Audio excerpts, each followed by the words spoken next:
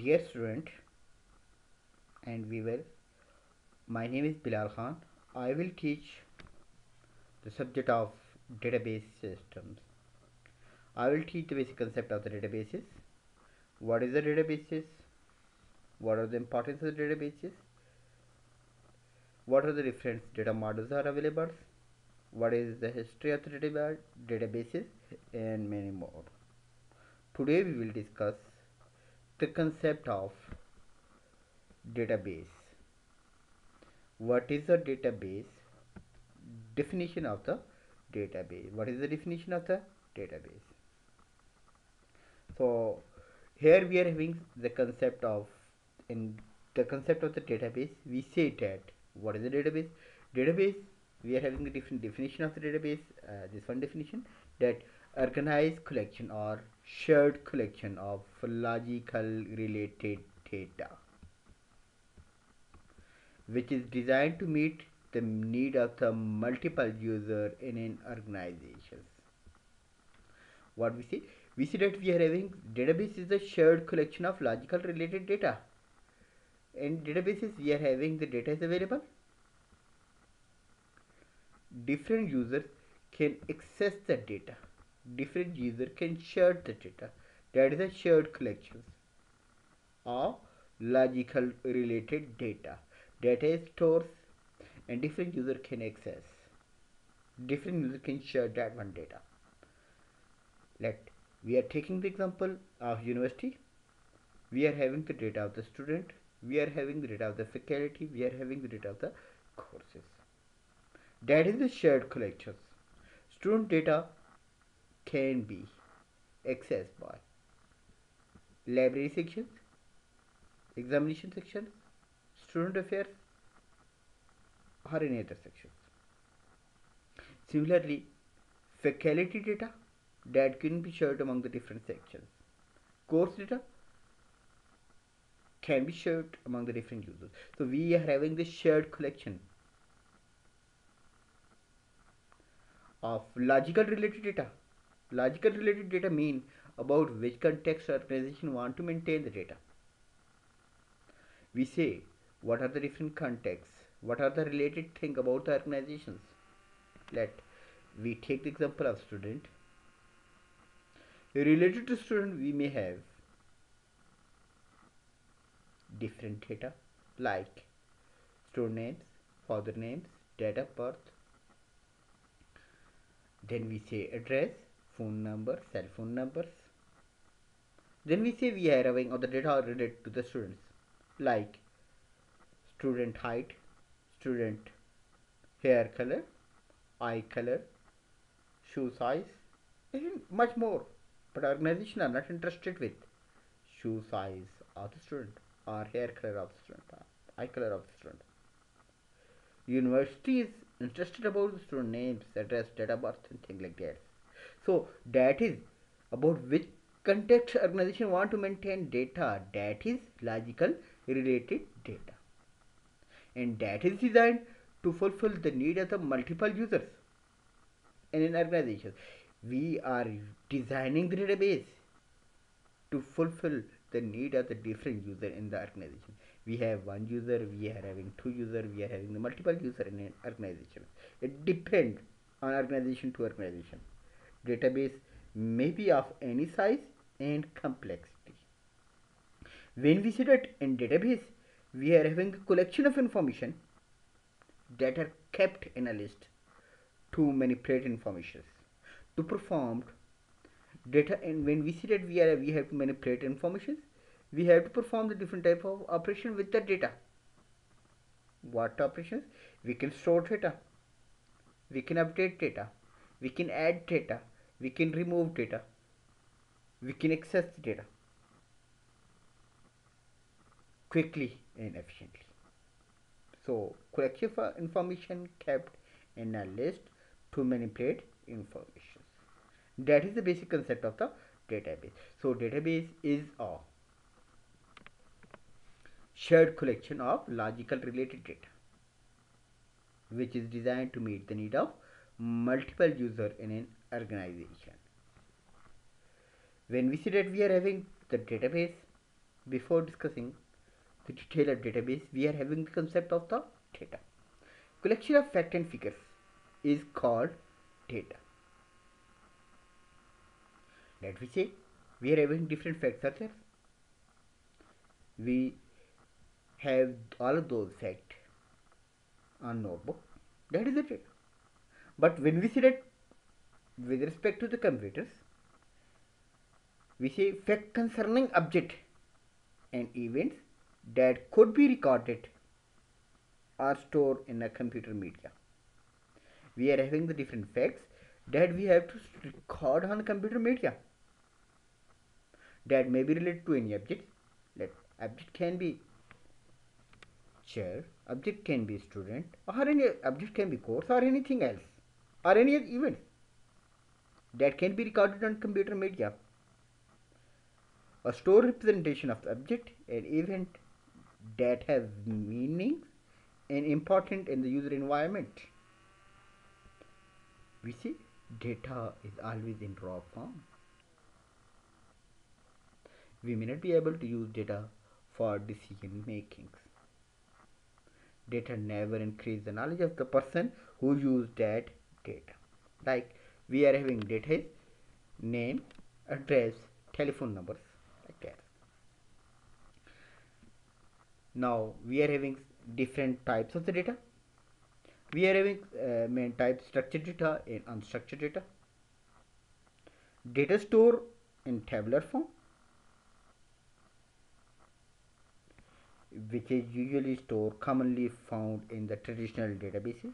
That is the structured data user can retrieve that one data very quickly and efficiently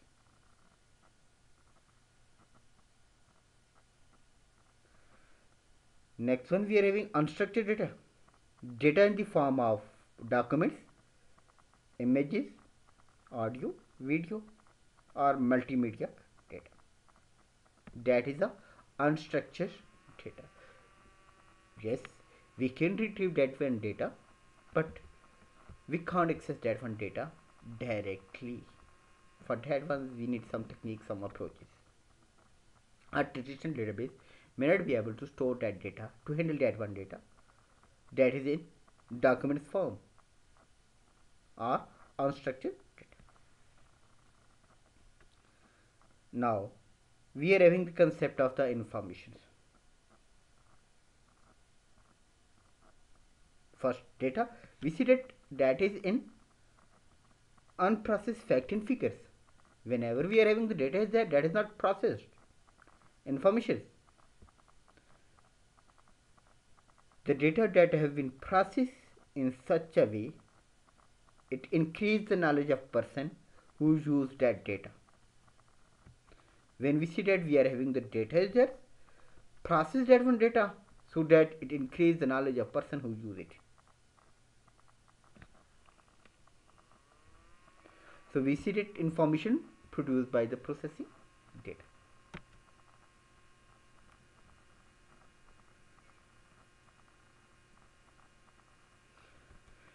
Let me see it raw data. Computer system process the raw data and that converts the data into the information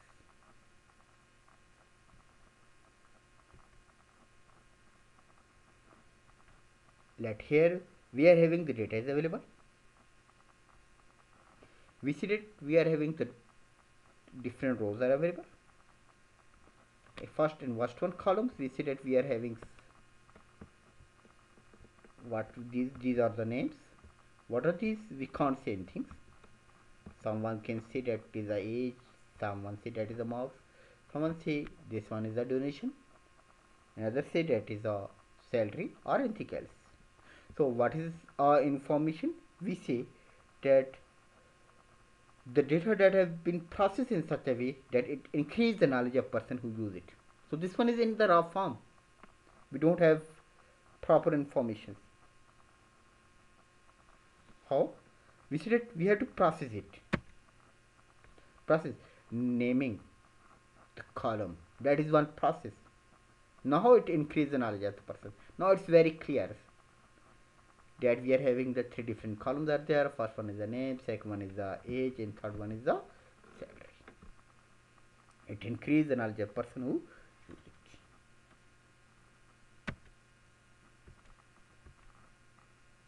so information when we process the data in such a way that it increase the knowledge of person who use it that is called information. Similarly here we are having the different informations out there. So when we process it in such a way that it increase the knowledge of the person who use it.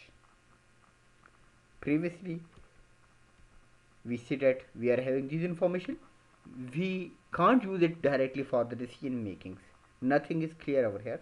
But when we process it in such a way that we are having the courses here semester is business policy section then assigning the column name id major and gpa now we convert data into information.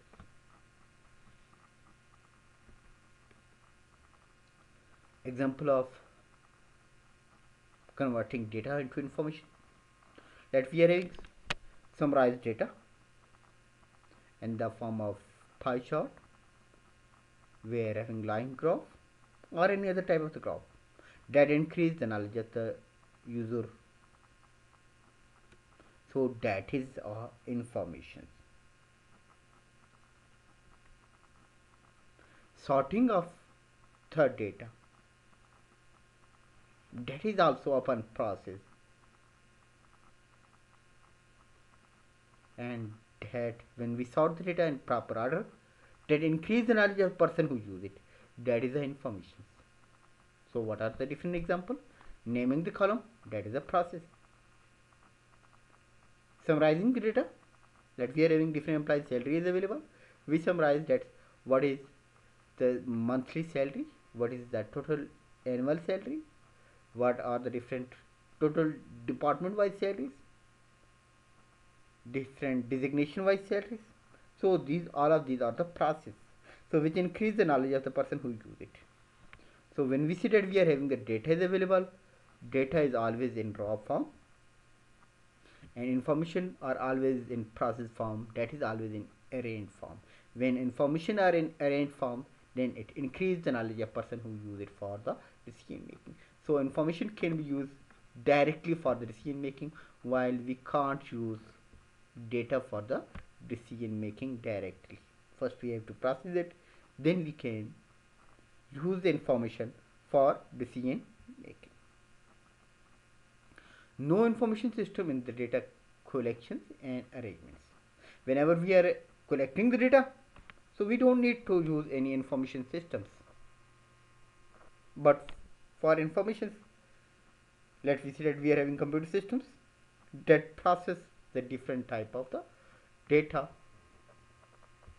Data is usually the input of the computer systems and information are the output of the computer system now as we discuss concept of the data and information types of the data. Now another concept that is metadata. What is the metadata? Data that describe the property or characteristics of the end user data and the context of the data.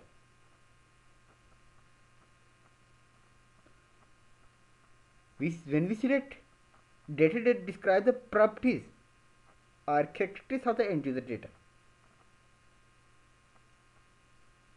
that is the metadata. What are the different properties of the data? That can be names, definition, size, minimum value, maximum value, what are the different source, descriptions that can be the properties of the. So our visited data about data is called metadata. We are having different column names, data about data, what is what are the different data types? Let's see course, alphanumerics, RVC data character, sections, integers, semesters, names. We are having the database, data types is AR, characters, ID, matcher, GPA. what are the length? We see that we are having the different length of this one. Minimum value maximum value and descriptors. Why we are using it? Metadata that helps database designer and user to understand what data exists, what the data means, and how distinguish between the data item are that at the first class looks similar. Okay. Now, where we have to store it, we have to store the concept of the metadata at repository. Repository is used to store the metadata in next lecture we will discuss the concept of the database history of the database traditional file processing systems and then advantage of the database after that one we will discuss the basic component where we will discuss we may be able to know that where we may be able to store the metadata Thanks for listening.